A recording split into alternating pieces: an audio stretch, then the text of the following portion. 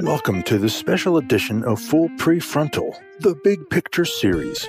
Coupled with our extensive library of conversations with leaders in the fields of neuroscience and cognitive, educational, and social psychology, in this special series, Sucheta plans to dive deeper into the science of executive function, including managing oneself and one's cognitive resources in order to achieve goals. Throughout the Big Picture series, we'll explore the difference between knowing and doing. She will share real life examples and day to day tips for practicing intentional strategies to help you, your family, your team members, or your students build competencies in executive function to lead to stronger, more resilient relationships, sustainable communities, and fulfilling lives together. And now, here is our host, Sucheta Kamath.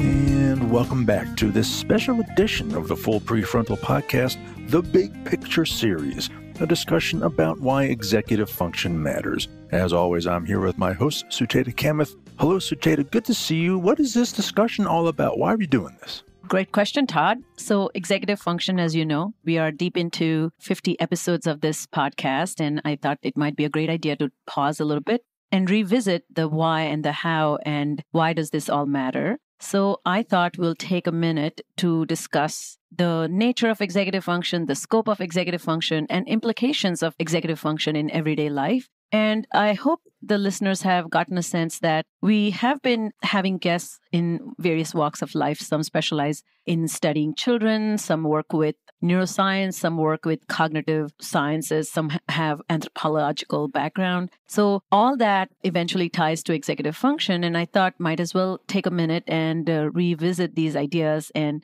lay out a structure so those who are interested in understanding the relevance and importance of executive function might find this overview very valuable. And the big picture to me always is like bird's eye view. You know, yeah. if you start start in high up there and taking a, a, perspective, then you can see the vast ramifications of the skill set.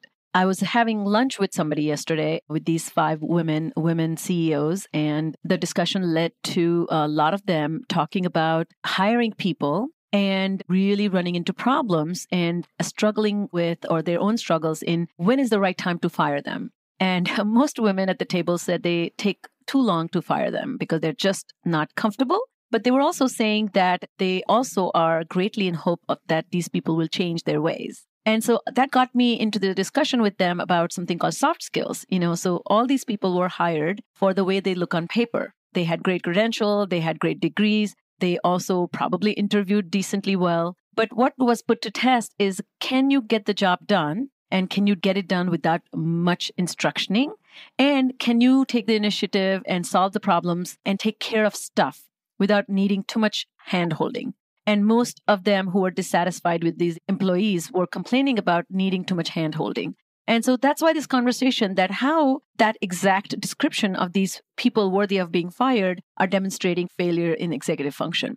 So I hope that made sense. It did. You know, 50 plus episodes of this show, the thing that has surprised me the most is how pervasive executive function is and how uh, a lot of your focus, I believe, is more towards the student. But every one of us in every walk of life in virtually every discipline, this is the idea of executive function is critical to our ability to survive and thrive. So it's been fascinating to me how many walks of life uh, executive function touches. So that's probably very appropriate that we pause, reflect a bit on this series so far, and really get the kind of reattain that big picture. So I think that's a, a great thing. I'm looking forward to it. So I guess what we should do in leading off this discussion is uh, probably remind everyone exactly what executive function means. That's a great start for us. So, I'm going to kind of give some quotes about various experts in the field and what they say. So, we have had Paul Zelazo, and so he defines executive function this way. He says executive function comprises the ability to be mentally and behaviorally flexible to changing conditions to provide coherence and smoothness in one's response. And sorry, it's so technical, but during ongoing and new encounters with the environment, executive function questions and relates to ongoing goal achievement. So these two questions are like, how does this relate to me? And what should I do now? So let's kind of disassemble this or kind of break this down into parts. So what speaks to me about this definition is number one is adjusting mentally and behaviorally in a flexible way to changing conditions. And for example, you and I sat down to do this interview, and I said, I would love to have a cup of hot tea. And so you went to the station where there's a hot tea kind of situated, and you came back and said, Well, the guy was cleaning. And so that required you to wait, which required me to wait. And that is literally that waiting for the guy to clean the machine so that he, it dispenses hot water is behaviorally and mentally flexibly adjusting to the changing condition. And what was the condition that changed? That the coffee machine and the hot water machine should operate without any hitch. It didn't. And that required you to pause and stop and adjust and not throw a tantrum, which you didn't, or for me to kind of lose it, which I didn't, that I don't have the tea and I want it now. So that's the first part of it. Does that make sense? Makes all kinds of sense. I mean, and as I go through the world, uh, these scenarios, you encounter these scenarios virtually every minute of the day, don't you? Yes, you know, it just reminded me of a story. I'll give you a, a comparison. I was listening to this amazing man called Pico Iyer. He's an author, a writer. He's followed Dalai Lama for the last 20 years and has written a lot about it. And now he writes these reflections about stillness and mindfulness. Brilliant, brilliant writer. And he was telling his story that his house burned down. This was 20 years ago when he lived in California and their old house burned down. And he said, the house burned down. And the next day he said, I woke up with nothing and I went to a local store nearby and bought a toothbrush. That was the only thing I had in my possession. Mm. And that was the only possession I had. And the next question is, what would I do next? And so apparently, one of his friends who was a teacher said, There's a monastery nearby. Why don't you stay a few days there? And it was in complete isolation and hills of uh, California. And he said, Sure.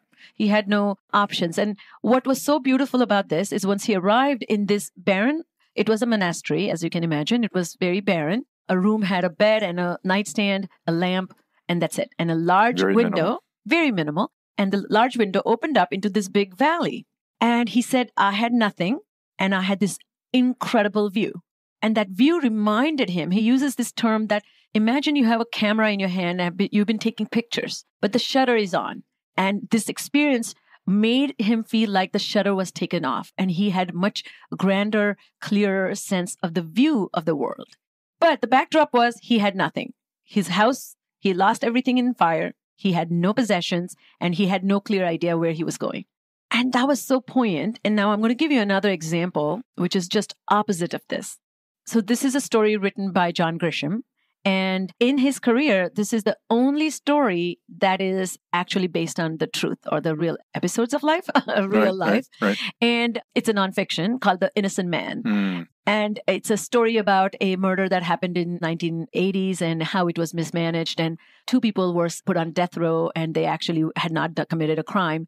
But one of the stories that struck a chord with me was there was a man in the story who actually, so John Grisham was asked, How did you get started with this whole writing about this story? This is in Ada, Oklahoma, a tiny, tiny town where they had never heard of a murder.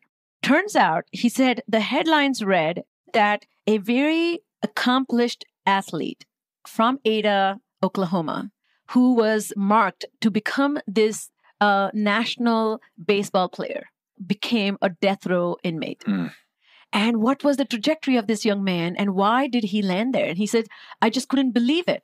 An athlete, you know what goes into becoming an athlete. You have to be disciplined and kind of have a lot of practice and focus and commitment. And he did have that. And so the backdrop of this story was this young man who got drafted from high school, went to play professionally, had a lot of setbacks. He was really managing himself very poorly. So he kind of uh, got into women, drinking, drugs, and he had an injury. And after the, he had that injury, he became disabled and not able to play. And he was put on the bench and then eventually was thrown out of the team because of this bad behavior and then moved back into his tiny town, lost everything he had. And so it's a colloquial fire that I'm talking about with Pico Iyer that I described mm-hmm. that made him lose everything. And so these are two individuals, when they experience loss, one found himself and one lost himself. And to me, that is what gets me thinking about executive function because it is that changing conditions in life that command or ask us to adjust in a flexible way, but in order to provide coherence and smoothness to one's life. Coherence is maintaining meaning in life. And, you know, Dr. Tim Pychyl, as one of my guests, and we talked about this existential crisis why people don't do what they want to do, they mean to do, they keep you know, destined themselves to accomplish this goal, but they don't because they have this existential kind of dilemma inside that do I really need to do this? Does this even matter? And those who actually in crisis do not lose sight of the bigger picture of life tend to adjust, adapt, and do well. And that's why we are talking about this. Well, I've heard you talk about one of the goals of all of this, right, is to yield outcomes that are social, emotionally desirable, appropriate, and future centered, right? Isn't that what you're aiming for? Yes, well, not me. I mean, every all of us should be aiming for. Right. But yes, this is exactly what I talk about in terms of who is successful or what does training or supporting or helping people to develop executive function looks like. So as I continue this conversation, I want to bring in another definition. This is given by Guare and Dawson. And, you know, Peggy Dawson was one of my guests as mm-hmm. well. So, according to Peggy Dawson and Guare, they define executive function as neuropsychological concept referring to the cognitive process required to plan and direct activities. And what are these activities? Task initiation, follow through, working memory, sustained attention, performance monitoring, inhibition of impulses, and goal directed persistence. And again, sorry for these technical terms, but what it means is again, can I direct myself by following a plan that I create for myself, can I inhibit the impulse to do something else? Can I continue to watch myself and monitor myself? And can I persist?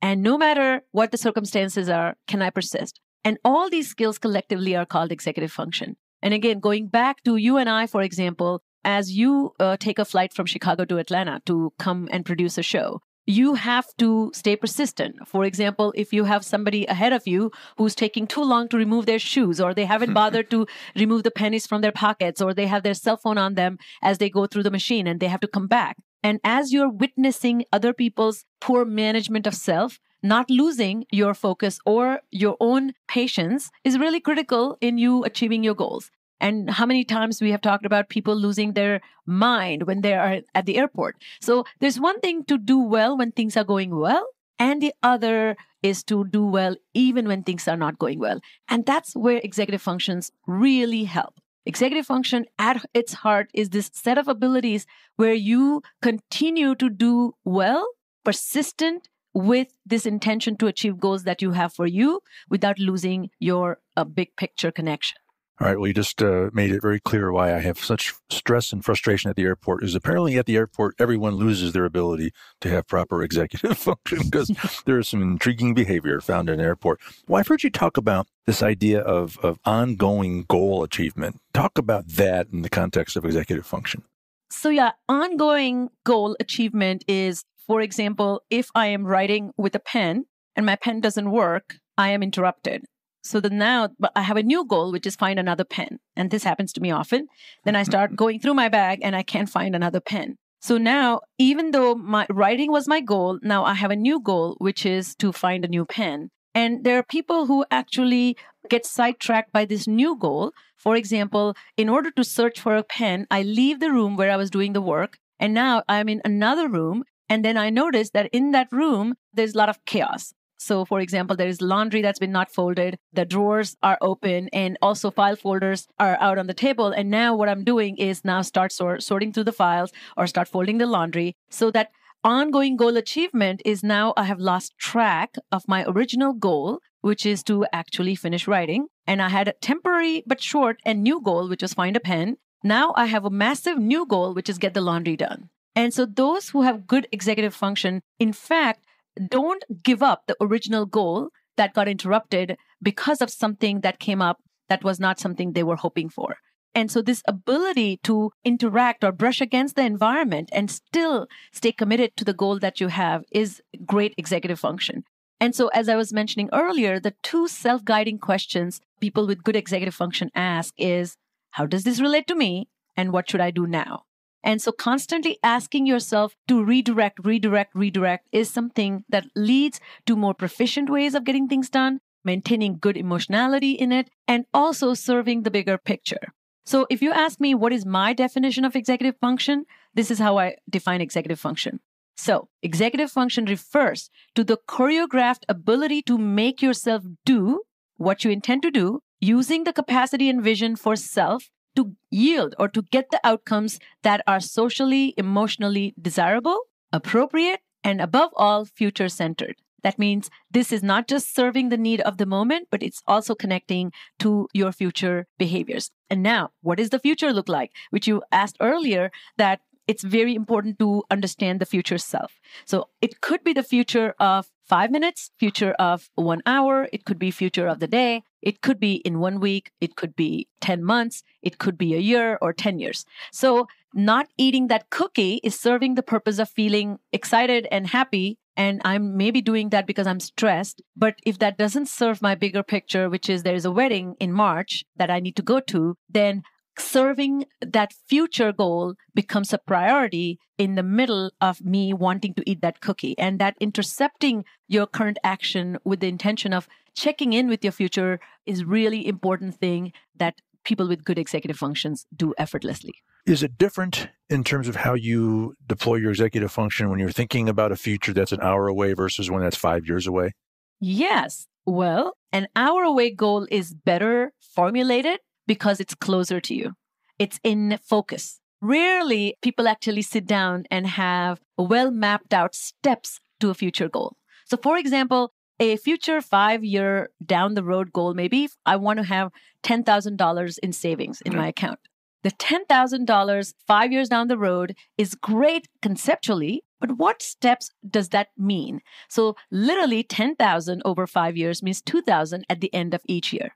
So now how does at the end of next year, I should have 2000 extra above and beyond my projected savings. Now that requires me to now monitor if I take those $2,000 I'm making this up. Sure. Then I'm breaking this down into maybe $150 per month.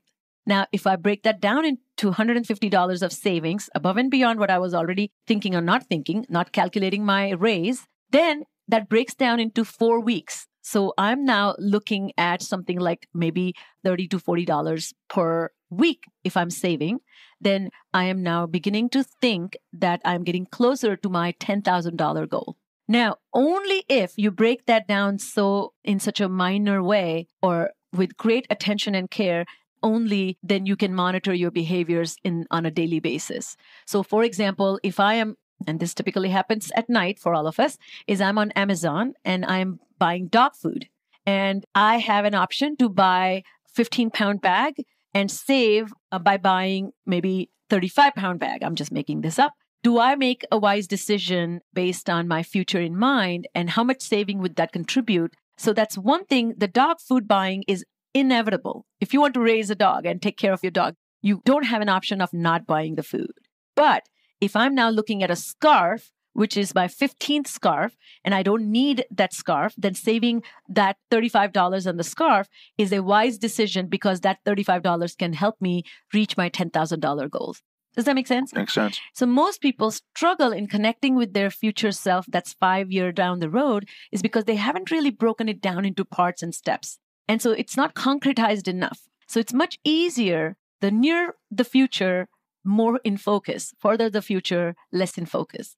And so it's really hard to kind of connect to that plan, which is only going to come to fruition five years down the road.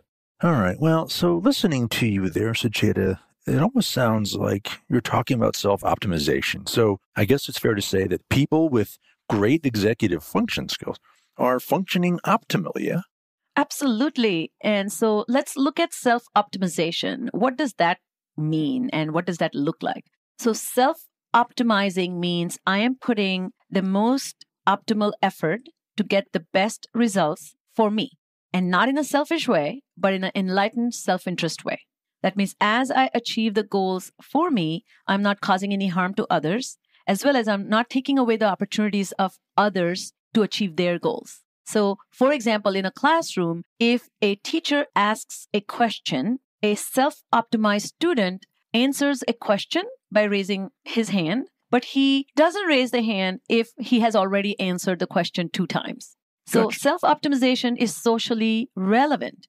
Same way, if you're sitting around the table and we have ordered two large pizzas, which has eight slices each, and there are six people. And so we quickly do a mental math and make sure that 12 slices means everybody gets two. And we have 16. That means we have four more slices left. Self optimized person is the one who says, I will hold back my hunger and see who wants to take third slice. So there's a element of social regulation in self optimization. So the self optimized person is also aware of self and has a great sense of what is working and what's not working. So self optimized person says, you know what, this didn't work. So I'm going to do this differently. So in order to do differently, you need to have a great sense of what went into doing it and why did it not work well. So I'll give you an example. I used to have a client who was in his late 30s, and he told me that there was a major event coming that he was preparing for, which is his baby turning one. And he said, I am not helping my wife at all. And she's kind of upset with me. So she has given me one job. And my job is to organize all the pictures of the baby and put them into some montage so we can play that during this uh, first birthday. And it was uh, literally three days before the uh, baby's birthday. The whole family was coming, you know, from each side, and they had invited guests. There were probably 40, 50 people, and they had rented a hall. And he was not prepared. He did not have all the pictures. He had not told his wife he had not did not have the pictures. He was scrambling and he was so stressed out that he was not doing what he should have done, which is reach out, tell people, ask for help, adjust, adapt. No, he had not done any of that. So we kind of discussed this and I kept asking him, How is it going between you and your wife? And he says, What do you mean? I said, She sounds like she might be upset with you if you are not doing your job, but you haven't even shared with her that you are not doing your job. And he said, No, no, no, everything is perfect, no problem. The event happens, as you can imagine. And next week, when he shows up, he says, My wife wants a divorce. Mm. And it hmm. was very shocking to him. The next day after the birthday, the wife at breakfast told him she wants a divorce. And he was so caught off guard. He was absolutely unaware that there was some anything going on in the marriage that kind of led to this divorce request and he was blindsided and he was angry and upset, but he literally felt that it was because of these pictures that he did not put together, the montage, mm-hmm. which was not done very well. And I said, Is it possible that it's something else, or in addition to the montage? Or is the not putting together the montage was just the, the straw that broke the camel's back? Right, right. So people who are not functioning optimally have very poor insight and they are not able to recognize their behaviors and their mental adjustment affects the world around them but they also don't recognize that other people are evaluating or seeing the way they are carrying out their life's mission in the steps they take. And when they are not optimal, it affects their partner's ability to be optimal. So there is a boomerang effect and it creates a chaos, not just with the individual who's not optimally functioning. And now you can imagine in business world, for example, if you are a team member amongst 10 and you're not picking up or pulling your weight, you are going to be a burden for the entire team. And so eventually, so beginning people might tolerate it, then people might be irritated with you. And eventually, people are going to outcast you, or they're going to ignore you or exclude you. And eventually, you're going to get fired. So that's what I mean by self optimization has such an impact on the way you think of the problem, the way you evaluate outcomes, the way you change your approach, and the way you understand its impact on others. And those with great executive function has incredible sense of self optimization and they are attuned with their performance and outcome. All right. So if I'm understanding this correctly, there are, you can be very intentional or you can have very automated or automatic processes. Uh, so it sounds like you're saying to be successful, to be more optimal, you have to be very, very intentional. So well said. Yes. So executive function, in essence, is intentionality. You have to have purpose, but you also have to pay attention and you have to watch what you're doing, why you're doing what you're doing. And if it's not working, you need to change what you're doing. And so that to change, you need to really get off the autopilot and get intentional into the intentional mode. So I want to kind of bring in this idea of habits and executive function. So in order to become very optimal, you need to have routines and habits. They're very, very essential, by the way. So what is a routine? routine is something that you have decided intentionally previously. It has sequence of steps that follow themselves. And you don't have to like intentionally say, what do I do next? It's automated. And so when you follow an automated, predetermined sequence of events, it becomes smooth and it brings efficiency. However, the real executive process kicks in when something is not working well. So, for example, you do not need to bring the physicist mind when you're loading the laundry, right? It's not a massive problem that you're trying to solve. However, let's say you're loading and you drop the first bunch of clothes into the washer and you hear cling. You know there's some coins or something metal into the washer mm-hmm. and you mm-hmm. remove them. So automatic thing is to load and then pour and close and press. That's the automatic process or automatic thought process that's involved in doing the laundry. But hearing the cling or eh, any noises that tell you that it's not going right or needs to be intercepted, you changing your autopilot and bringing intentionality, that's executive function. So, a couple of things happen to people that do not have great executive function. One is they do not pay attention to that little cling that they heard and they ignore it. Or they also do not know why that stopping, pausing, reflecting is essential in this context. So they're misjudging the situation, which calls for a novel response versus automatic response. And so it's really important to be intentional, but you also need to be very attentive and you need to have some critical thinking in place. Bottom line is to do all these things, you need to be so mindful. So you have to be very mindful in the moment. Why am I doing what I'm doing? How does this matter? And is it giving me the results I want? And so those who do this kind of self check tend to do better. Well, so you're not always going to get an obvious signal like loose change in a washing machine to say, "Oh, I need to change something." Uh, you that's where self optimization comes in because you might those signals won't always be obvious, and so sometimes routines are good in some respects, but even those will need to change from time to time. Yes. Yes, yes. And so this happened to me a couple of weeks ago. I had a brake pad wear tear oh. signal. And now I had a critical decision to make. So it was not that I was not paying attention. I was very much paying attention to my car when I started it and when the message would pop. And then I had to take, get off the autopilot, which is just get into my car, drive, get my business done.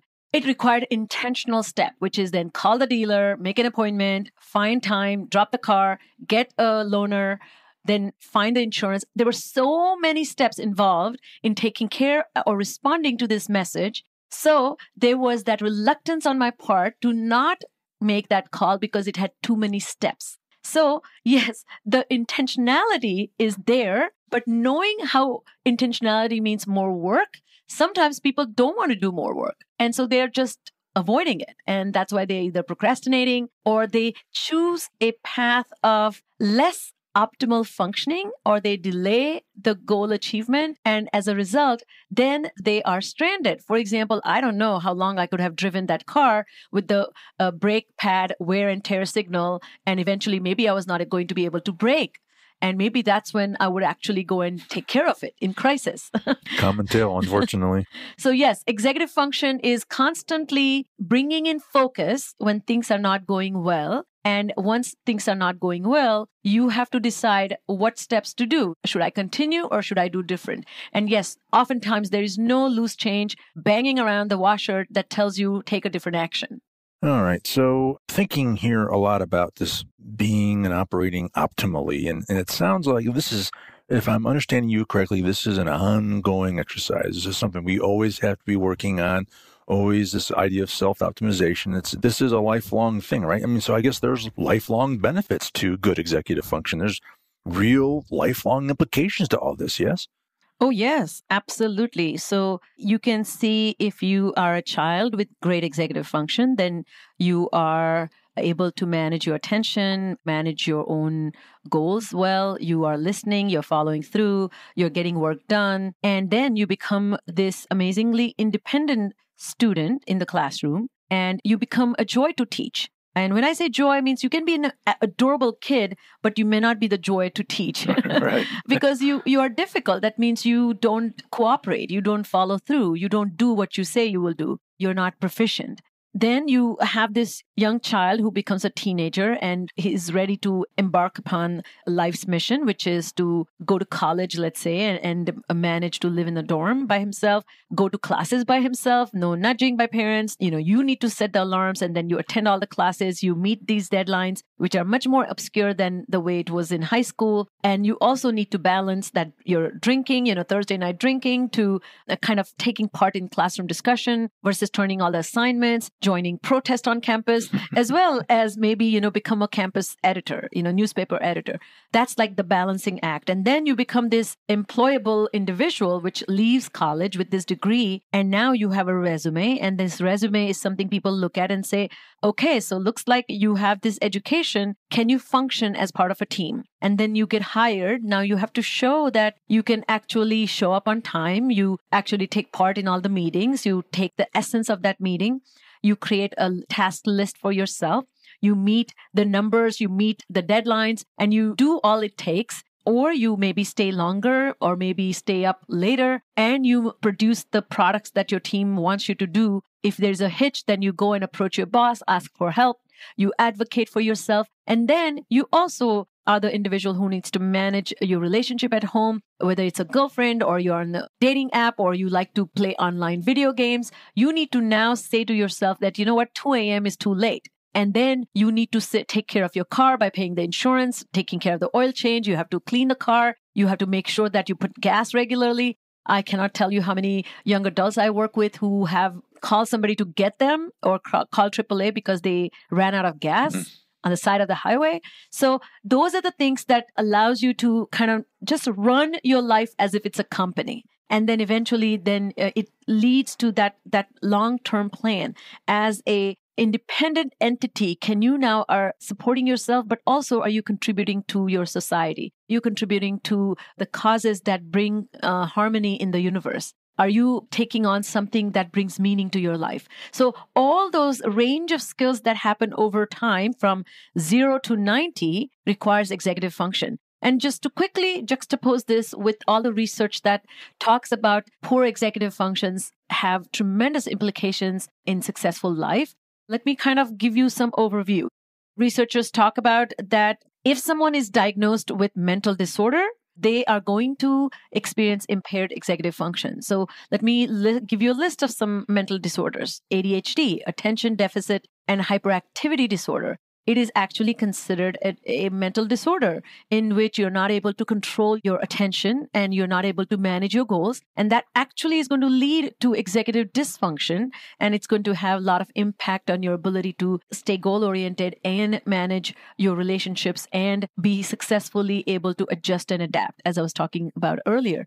Uh, conduct disorder, which is a 20 to 30% of ADHD population also has additional conduct disorder. That means you're likely to be more defiant, you're likely to be more difficult, you're likely to be delinquent. And if you have those kinds of difficulties because of the wiring in your brain or the brain chemistry, you are going to have executive function problems. Addiction, in individuals with addictive personalities are shown to have executive function disorder, schizophrenia, and depression. So we have research that actually shows that these mental disorders are likely to be affiliated with, or there's a direct correlation between these mental disorders and executive dysfunction. And often in my practice, I find that when you go to see a psychiatrist or your primary care physician or general notion in commonsensical notion that public has is they are focused on the mental disorder, but not the underlying executive function. And they're not receiving any help in developing these skills and abilities that make you self optimal.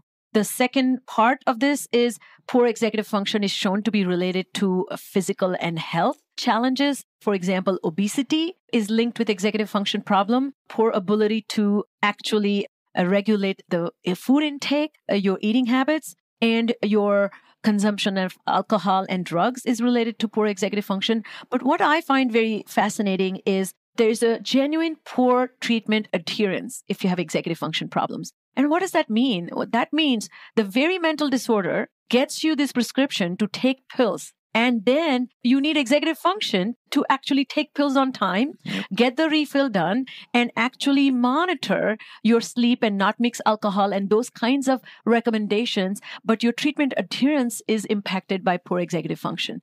And that means your success in managing these mental disorders or physical ailments is going to be compromised. So you see how tremendously impactful that can be. Another little important caveat there is that poor executive function is shown to be directly correlated with school readiness.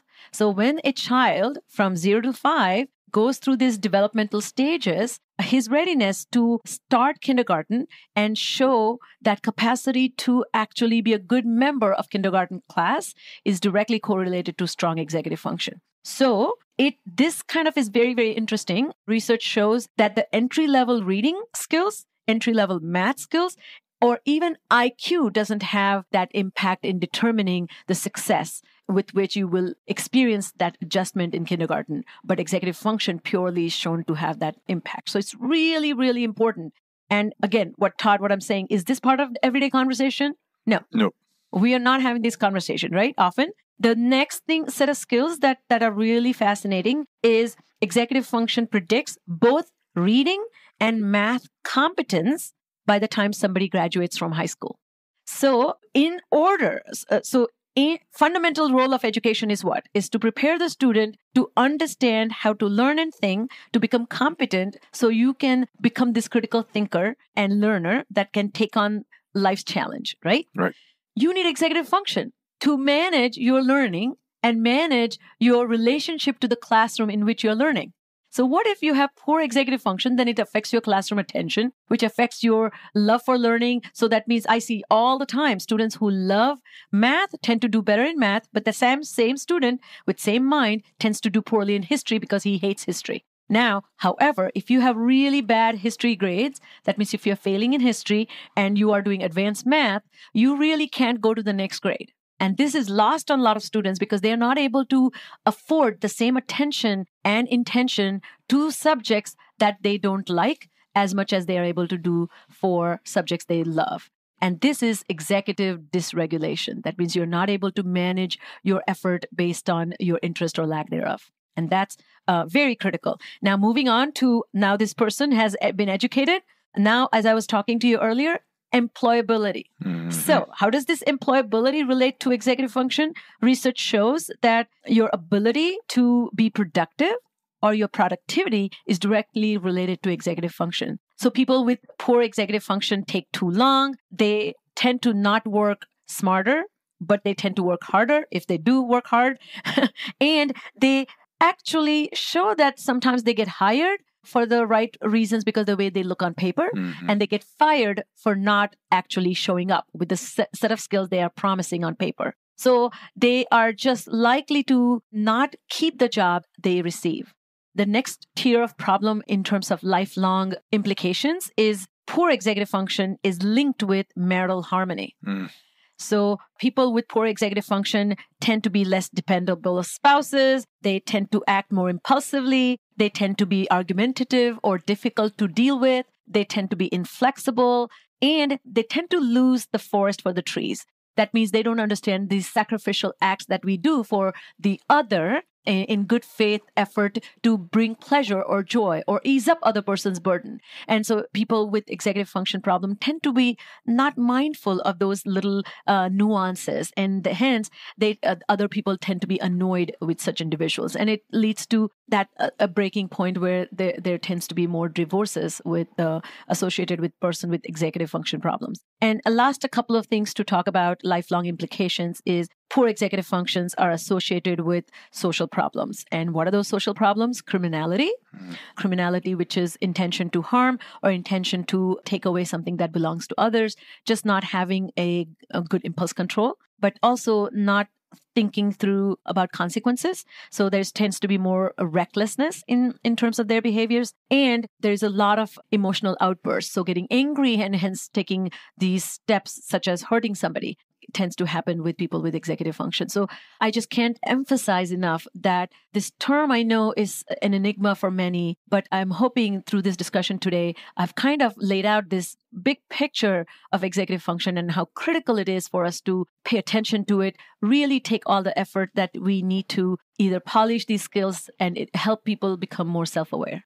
Well, you know, just hearing you talk, you know, we talk a lot about the self. Right? We talked about the future self and the optimized self optimization, all this quote self. But this has a real impact on society. Think about all these problems that ha- that exist in our society. You can you can attribute a lot of those to executive function, right?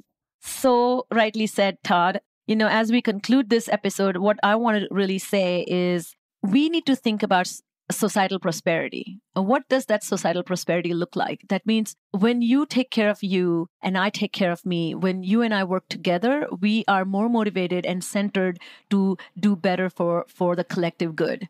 And the collective good can become a priority if your personal needs are taken care of. And a lot of times, because of the executive dysfunction and mismanagement of self and mismanagement of goals, you're really not in alignment of bringing or putting uh, needs of the other uh, as an equal priority. And so I f- find that these individuals tend to be less competent team members. They are not the most flexible individuals, so they become the naysayers. They are less likely to collaborate and cooperate when it takes when it is uh, required to work with other people. And of course, you can imagine it impacting the innovation and imaginative workforce. So, what we need to really be thinking about is not just the limited sense of I when we talk about optimization, but by optimizing self, you're optimizing society. And it's such an, a wonderful way to bring joy to the world.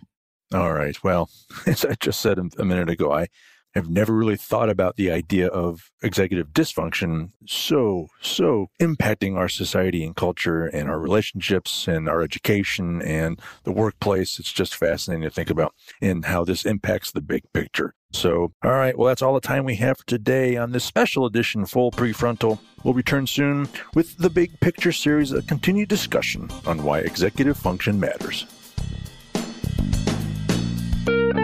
Thank you for listening to Full Prefrontal, exposing the mysteries of executive functions. To contact our host, Sucheta Kamath, and learn more about her work on improving executive functions, visit her website at cerebralmatters.com. That's cerebralmatters.com. Tune in next week for the next informative episode of Full Prefrontal.